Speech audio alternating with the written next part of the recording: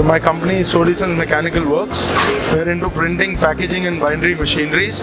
All kind of printing, packaging, bindery for mobile, sweet, mono cartons, corrugated cartons and everything. This is the machine, this is called hot foil stamping. This is an Heidelberg cylinder machine which has been converted in hot foil stamping. We have two options for hot foil stamping. One is die cutting and one is hot foil stamping with cylinder converted. This is a cylinder machine which has been converted with hot foil stamping. Maximum sheet size we can do it. It's 21, 31 and depends upon whatever the machine is. Like you have a bigger size machine, we can convert it as well as. What is the output, output per hour? It's around 2,500 to 3,000 sheets per hour. Give me the cost estimation of machine.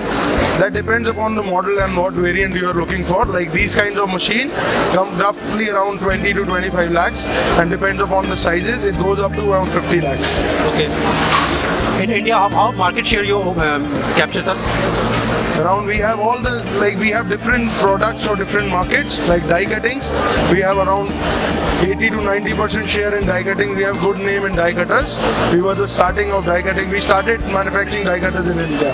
We were the first one to manufacture die cutters. This machine is a purely indigenous machine or you have some technology from outside of India? No, no. We have this is our Indian machine. We have this is an Heidelberg Germany machine.